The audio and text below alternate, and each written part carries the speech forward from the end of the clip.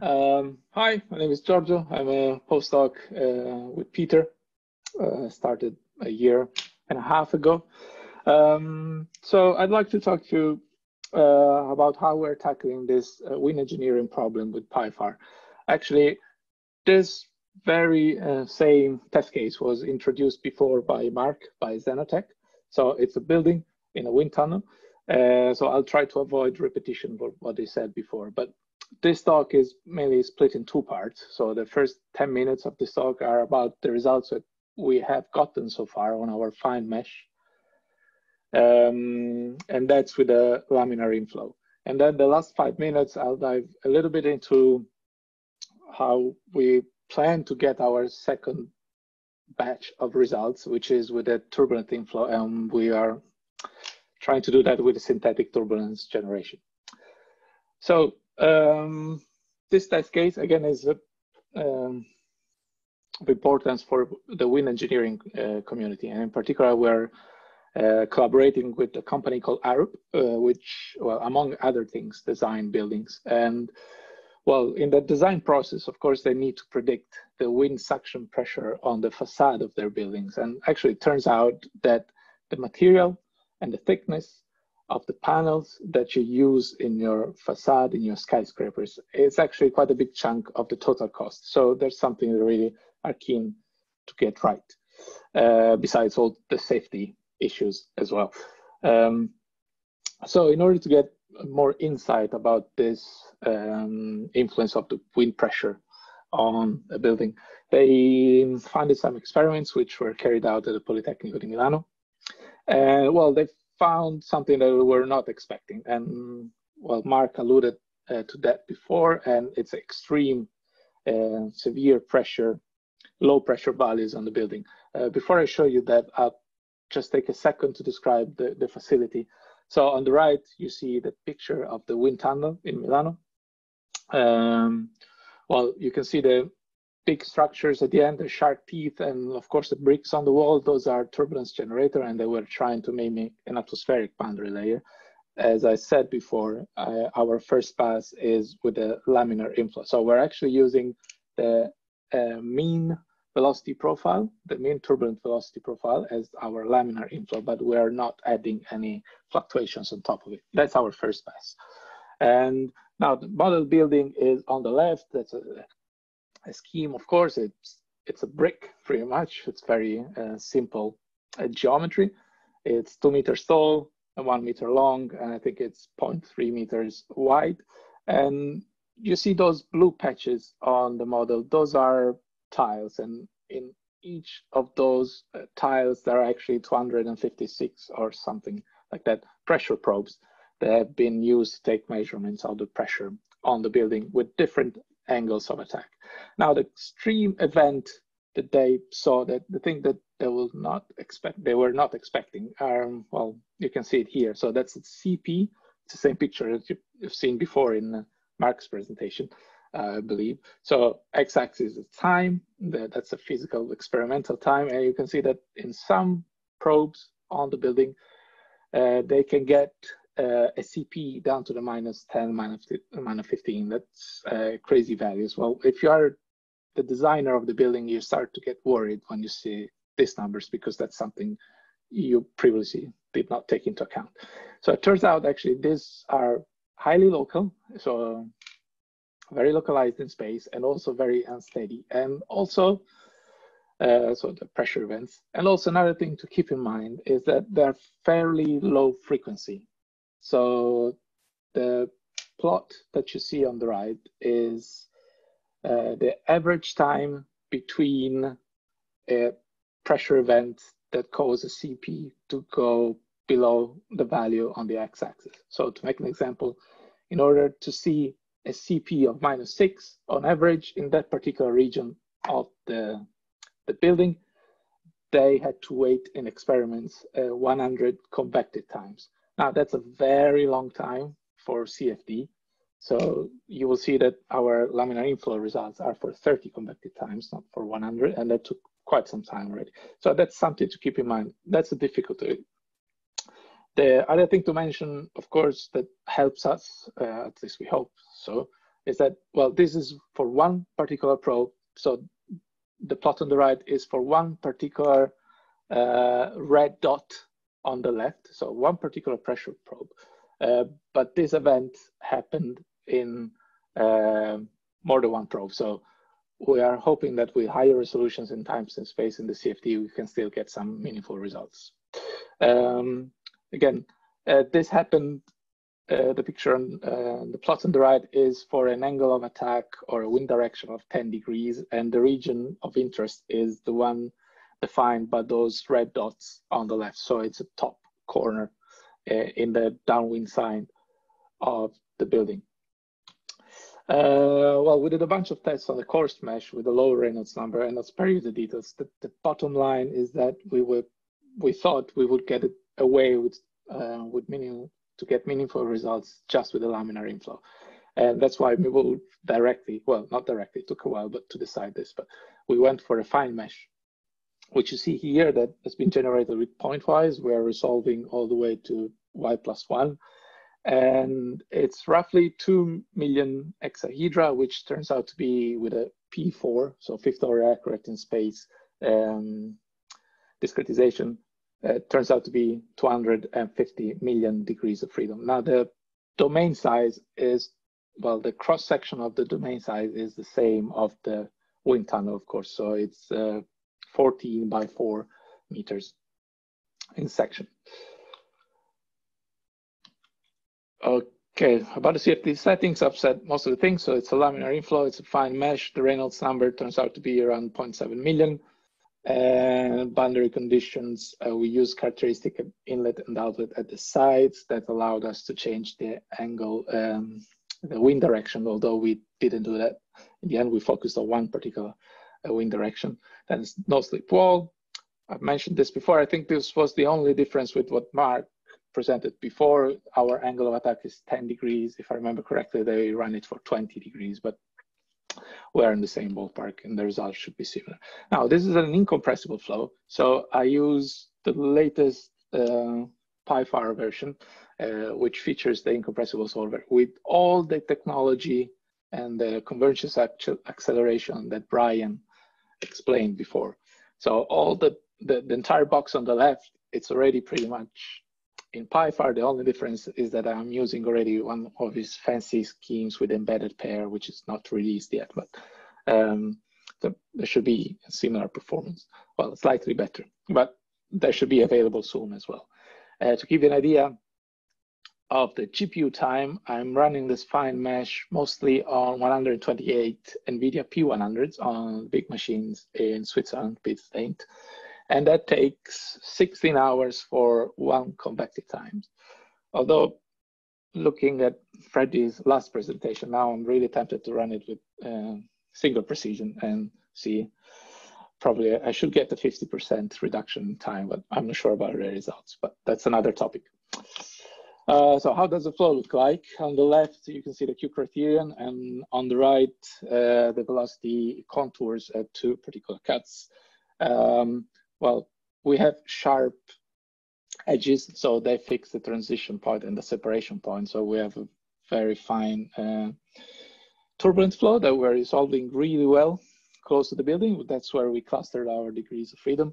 Uh, we lose some of the resolution far away, but that was somehow well to be expected because again we clustered our degrees of freedom close to the wall because that's where we're actually looking closely to the solution. So again, we are measuring the pressure on particular areas of the building. We're not so much is interested in the wake uh, behind the building. Uh, let's move on. So again, the pressure, I'm sampling my solution in particular areas in my top right corner of the building. And while we were running the first pass of this, we saw a few pressure probes that we actually got a CP of minus four, but we were not able to capture it. Uh, luckily, a similar event happened a little bit after, and this time actually we were prepared and uh, we are we were able to capture it. And well, the reason is the reason why it is not so easy to capture this event is again because they happen with such low frequency. You cannot simply save the solution at every time step, and it's just too big of a problem. So uh, tell you in a second how we managed to capture this with a very simple solution. But uh, let me show you what actually happened during those that extreme event of it. Actually, was a CP minus four on the probes. So the pink dot that you see, the pink dots that you see on the right, those corresponds to the pressure probe that are in the experiments, uh, so the experimental setup. And if you see there are two main structures, and on the right there's a contour of CP. The, the dark blue means CP minus seven, and that those two structures just touched upon uh, two particular pressure probe that didn't go exactly on top of it. And that's why you didn't see the CP of minus seven in the previous plot, but only CP minus four. Turns out this um, extreme event, well, is caused by uh, some vertical structures that you see on the left with the Q criterion, which are very thin and long uh, vortices, which spin roughly uh, the direction normal to our wall. Um, so we got one in a reasonable time. And one thing to note is that the pressure probes of the experimental results would have not picked it correctly because they would have missed the lower extreme values.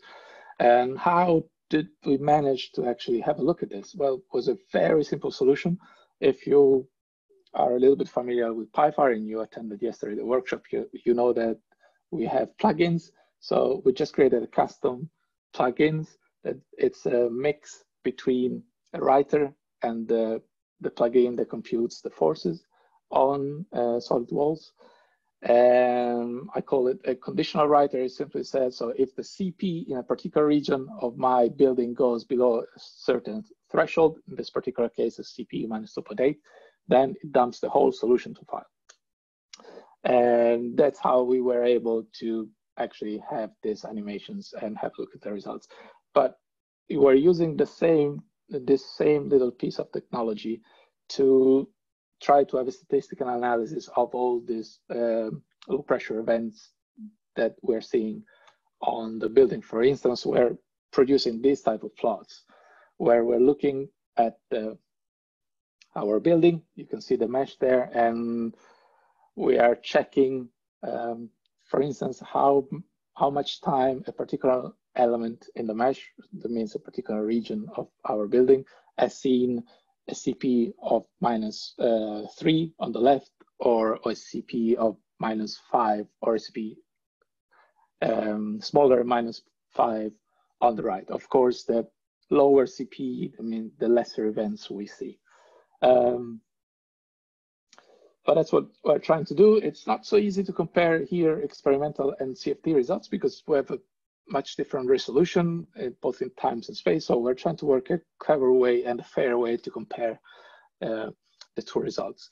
But in general, uh, we got one severe pressure peak capture and we were able to come back the statistics for 30 convective times. But now we're interested in seeing, okay, what happens when we actually have turbulence coming in? Um, so this brings us, uh, of course, to make a comparison between laminar and turbulent and see what's the best approach because a laminar inflow, of course, it's easier to run and slightly cheaper. Uh, but that brings us to the next topic, which is synthetic turbulence injection. Um, now, the list on the left, uh, of course, is not exhaustive uh, by any means.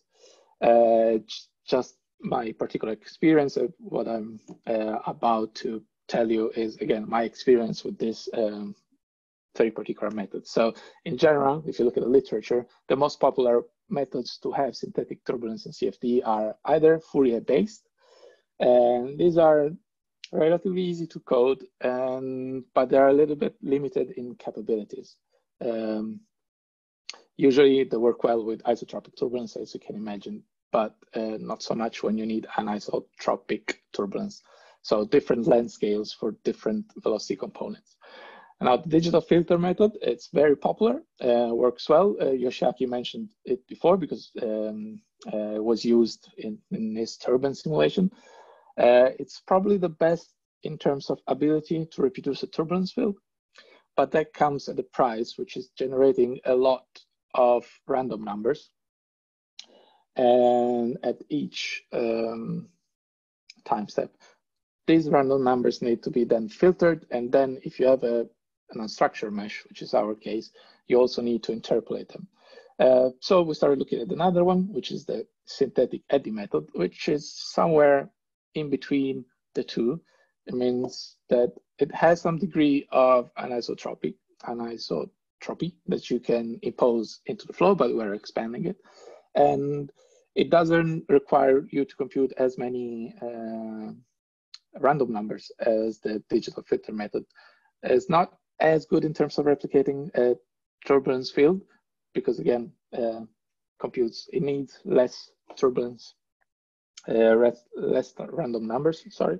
But I think we think where it's doing a good job. One of its main advantages, it is that it's better suited for high order unstructured code. Now, I don't have much time to go into details today about this, uh, but of course, if you have any question later, I'll be happy to have a, have a chat with you about that.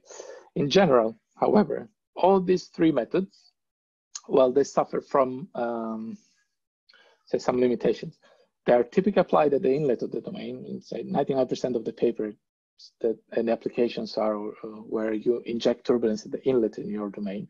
But that means that you need a fine mesh, of course, uh, in region of your domain where you wouldn't need otherwise, uh, because of course you uh, risk of dissipating your turbulence that they're injecting before it actually reaches the regional space that you're interested into.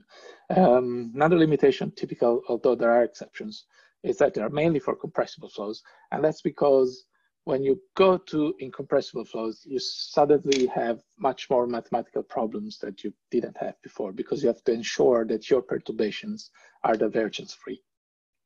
And now people have seen that if you simply take your algorithm that you use for compressible flows and you apply to incompressible flow, you may end up with unphysical pressure fluctuations.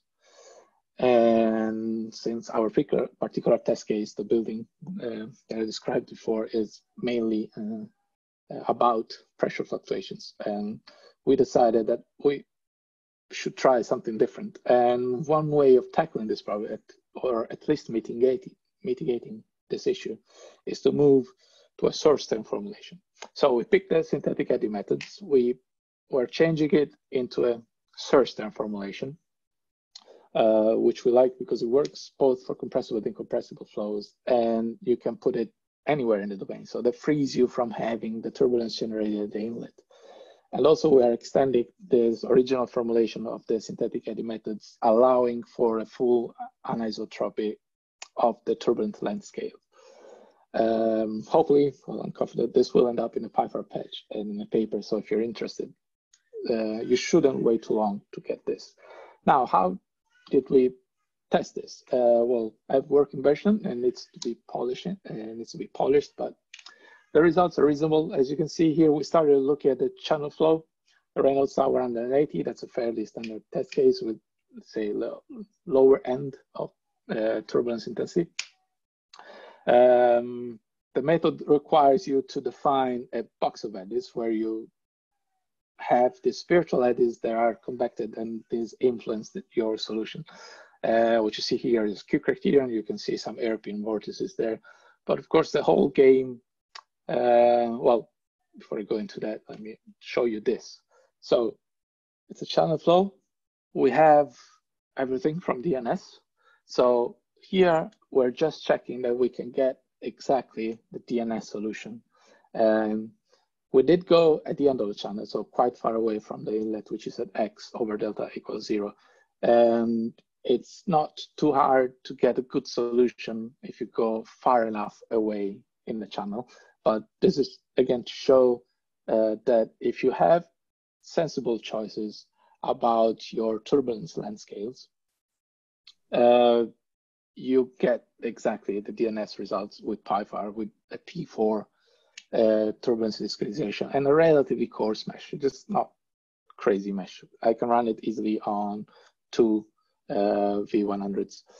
Um, Now, the different sets of results that you see are with different uh, sophistication, if you will, in the algorithm. So allowing different steps in the anisotropy that you want in your length scale. So we start with isotropic turbulence or partial. Let me go back to slides. Partial anisotropy means that for U, V, and W, so for your three velocity components, you have the same length scales in the um, any direction. And then we have anisotropy. So you have nine possible different length scales and also local anisotropy, which means you can change this, uh, it is um, coordinate dependent. Um, so that's at the end of the channel, pretty much end up all collapse to the DNS, the results all collapse to the DNS results. What happens if you start to go closer to you're injecting, which is the whole game of turbulence generation, synthetic turbulence generation. So have a short development length. So this is x equal 10.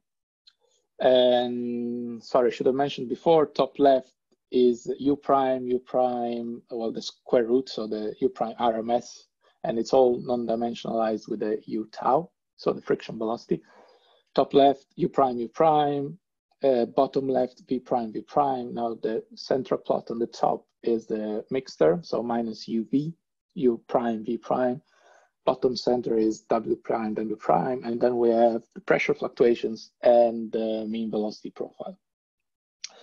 Um, so I think the results are fairly good. You can get a little bit better uh, results if you include anisotropy. So if you have that information, you might as well um, include it and you will get slightly better results. Uh, what happens if you go even closer? Uh, remember, let me go back one slide. We are injecting at x over delta equals 2. So after uh, just three um, half height of the channel, which is uh, so x over delta equal 2 plus 3, that's 5, we are still getting uh, reasonable results. Not as good as before, but that's a good approximation. Um, that brings us to the conclusions for this turbulence generation. So the results are good so far. Uh, the method is robust. Again, if you make sensible choices choices of length scales, so you will end up with a reasonable results. Uh, the accuracy is comparable to other methods. Um, if you have the anisotropy information, you might as well include it, and you will get a slight advantage. And the source term formulation uh, allows us uh, good flexibility and also uh, avoids something that I forgot to mention before. So let me go back one slide. Um, the source term formulation pretty much allows you to, well, makes uh, moves the burden of having a divergence-free fluctuation field, uh, moves the burden to the your iteration methods. In, in, our case, as you know, we're using the dual stepping and artificial compressibility, compressibility method. Now you can see here on the top right that we're not getting exactly uh, the DNS pressure fluctuations, but if you go in literature and you start looking uh, what people measured when they use their compressible uh, turbulence generator for an incompressible case, well, you will see they don't get the factor two or three, but they get orders of magnitude higher pressure fluctuations, which we don't get. So that's mitigating the issue, and uh, that's good, we believe. Finally, I'd like to thank you all, the whole PyFR team, which you have been hearing today, and people at Arup and Politecnico Milano. Luca, uh, Professor Zasso, and Paolo. And that was it. If you have any questions, uh, please go ahead and ask me. I'll be happy to answer.